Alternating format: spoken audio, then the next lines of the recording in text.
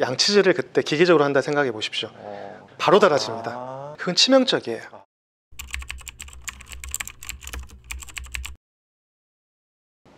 고마우신 구독자 여러분들 오늘도 클릭해 주셔서 감사합니다.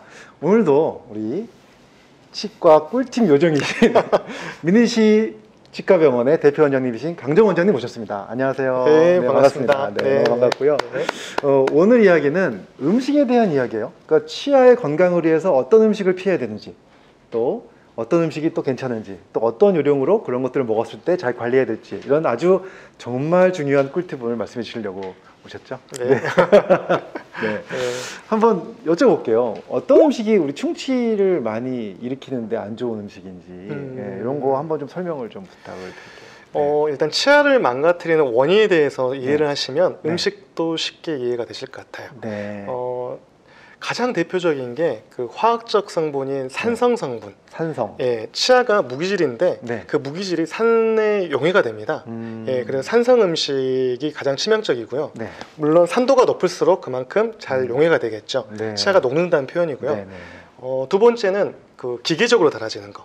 즉 음. 치아는 부딪히기 때문에 딱딱한 거. 예, 어. 많이 돌덩어리도 어때요? 많이 부딪히면 네. 금이 간다든지 그렇죠. 달아진다든지 음, 음. 깨지게 되겠죠. 네, 네, 네. 그래서 심하게 부딪혔을 때 네. 그런데 그렇게 심하게 부딪히게 유발시키는 음식이 있다면 음. 그것도 나쁜 음식이겠죠. 네. 예. 이걸 이해하신 다음에 음식들이 어떤 종류가 이런 게 있다는 것을 네. 생각해 보시면.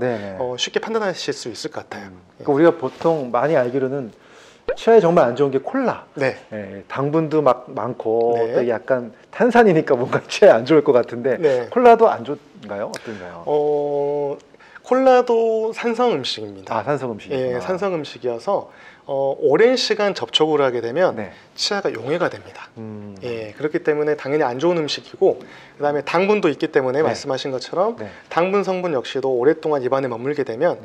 어, 세균이 살 수 있는 그 음식거리거든요. 음. 예, 그렇기 때문에 또 어, 충치를 유발할 수 있는 원인이 되는 음식이기도 하죠. 아 그래요. 예. 근데 이제 이런 그 산성이라고 말씀하셨는데 우리가 건강에 좋다고 생각하는 과일들도 네, 산성이잖아요. 맞아요. 이거 어떻게 해야 되는 거죠? 네. 어. 예를 들면 뭐 사과라든가 뭐 이런 신거 네네. 산성인데 네. 이거 이 치아 안 좋은가요? 어, 어떻게 우리가 네. 해석을 해야 되냐면 네.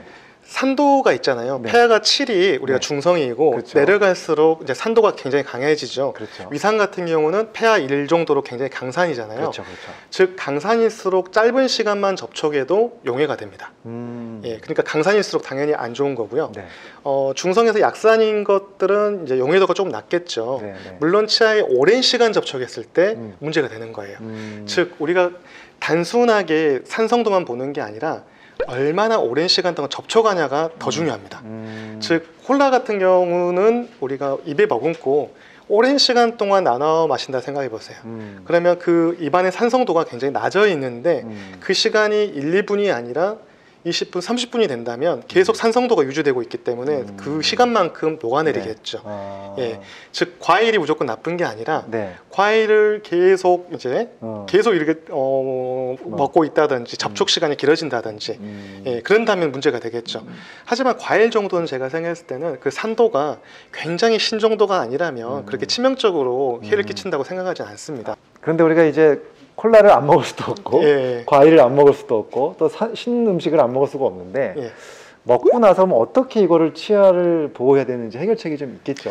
예, 네. 제가 방금 말씀드린 것처럼 접촉 시간이 굉장히 중요하기 때문에 네. 어떤 산성 음식을 섭취하더라도 물로 한번 헹구면 다시 원상태로 갑니다. 우리가 우유 먹는 것도 똑같은 원리예요. 네. 약간의 알칼리성이 들어가면 당연히 중화가 더 잘 될 것이고 음. 물로써도 가볍게 헹구는 그 행위로만도 음. 금방 폐가 그 원상태로 갑니다. 아. 예, 즉 그러니까 오랜 시간 동안 먹는 게 아니라 음. 음식을 먹고 바로 물로만 헹궈줘도 사실 음. 정상으로 갑니다. 아 그렇구나. 네. 그러면은 뭐 이런 과일 같은 걸좀 먹고 나서 한번 물을 한번 이렇게 헹구는 게 좋겠군요. 그럼요. 아주 예. 좋은 꿀팁 오늘 배우셨네요. 네. 음. 오히려 네. 우리 양치를 바로 하는 경우도 네. 어떨 것 같아요? 아 그것도 좀 궁금했어요. 네. 왜냐하면 우리 식사하고 나서 양치질을 바로 하는 게 좋은 건지 네, 좀 이따 하는 게 좋은 건지. 네. 아까 우리가 치아가 무기질이라 했잖아요. 네, 네, 네. 즉 산하고 접촉하면 용해가 일어나는데 음, 강산에 접촉할수록 용해도가 굉장히 빨리 용해되고 그렇죠. 또 오랜 시간 접촉할수록 또 치아가 녹아내리잖아요. 음. 예, 즉 용해가 어느 정도 되어 있을 때 만약에 양치질을 그때 기계적으로 한다 생각해 보십시오. 어. 산성 음식을 섭취 후 기계적으로 우리가 마모가 되는 행위를 한다면 음. 그건 치명적이에요. 산성 음식을 섭취 후 물 같은 걸 헹궈내고 일정 시간이 지났을 때 네. 산도가 다시 정상으로 가거든요. 아. 이때 양치질을 물리적인 양치질을 하는 게 맞습니다. 아, 예. 그러니까 우리가 산성 음식 먹고 나서 그냥 바로 양치질을 하면 마모가 더 심하게 올 수 있다. 네, 맞습니다. 예. 물도 좀 먹고 헹구고 시간 좀 지난 다음에 네. 한번 한 2, 30분 정도. 예, 그 정도면 충분할 것 같습니다. 아, 그러니까 치아를 이제 마모시키는 이런 충치 말고 이제 네. 색깔이 변하는 경우 있잖아요. 네, 예. 이런 변색을 일으키는 음식들도 있잖아요. 네. 어떤 거를 피해야 되고 어떻게 예방해야 되는지 좀 음. 부탁드릴게요. 네. 어, 일단 변색이라는 것은 네. 어, 건강하고는 상관이 없습니다. 아, 네. 예, 우리 하얀 옷을 입었는데 네, 네. 때가 타서 노란색이 됐다고 옷이 해지거나 그런 건 아니잖아요. 아, 네, 네. 치아도 마찬가지입니다. 착색이 됐다 해서 이게 뭐 병에 걸리거나 한건 음. 아니고 음. 단지 색상이 이제 누렇게 됐기 때문에 이제 보기 싫은 것이죠. 네, 네. 예, 이것 때문에 우리가 착색 때문에 이제 보기 싫어서 음. 이제 해결한 거라시라 이제 보시면 되고요. 네. 착색된 음식을 생각했을 때 아주 쉬운 건 우리가 흰 옷을 아, 흰 옷에 네. 어떤 음식물이 묻었을 때 네. 잘 묻고 안 지워지는 어. 음식들 있죠. 이런 음식들이 바로 음. 착색이 잘 되는 음식입니다. 음. 그리고 접촉을 했을 때 그 묻었던 게 네. 잘안 빠지는 것 음. 음. 식이라 보시면 돼요. 음, 뭐가 있을까? 일단 와인 바로 생각해 어, 보시면 와인, 예. 어. 와인 잘 안 지워지잖아요. 어, 와인 안 지워지죠. 예, 네. 카레, 예, 카레, 예. 카레도 되게 안 지워지죠. 그렇죠. 네. 카레 같은 거, 그 다음에 김치도 사실 해당이 돼요. 김치 국물 예, 김치 국물도 해당이 될 거고요. 네, 네. 네. 커피 같은 거.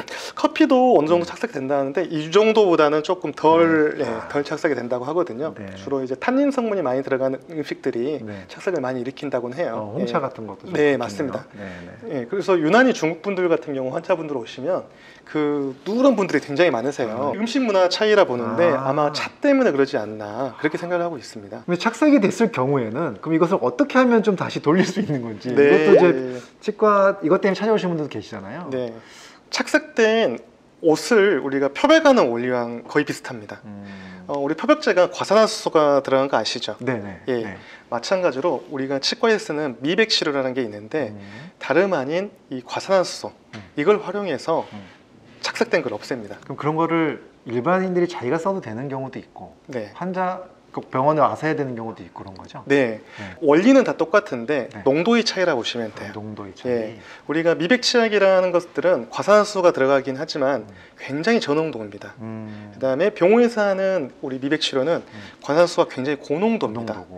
음. 근데 이제 고농도가 됐을 때 어떤 위험성이 있냐면 음. 화상을 입을 위험성이 있어요. 아, 예, 예. 과산화수소를 농도가 높은 걸 살에 딱 떨어뜨리면요 음. 하얗게 sắc, 색깔이 변합니다. 음. 예. 그러면 어떠겠어요? 그 잇몸에 자기가 스스로 했을 때 그쵸. 화상을 입게 되겠죠. 그렇죠, 그렇죠. 그렇기 때문에 식약청에서 치약 같은 우리가 일반인들이 쓸 때는 어. 굉장히 저농도로 해서 그 약제품을 만들어냅니다. 음, 사실 우리가 매일 먹는 음식인데 아, 음식으로도 치아에 문제가 생길 수 있다는 거 알았고 그 다음에 이것을 예방하기 위해서 또 언제 칫솔질을 해야 되는지 여기에 대해서 잘 설명해 주셔서 너무 감사드리고요. 네. 역시 오늘도 우리 또 치과 꿀팁 요정답게 아. 어, 좋은 정보 주셔서 너무 감사드립니다. 다음에도 또 좋은 이야기로 찾아오도록 하겠습니다. 꼭 부탁드릴게요. 네, 네. 감사합니다. 감사합니다.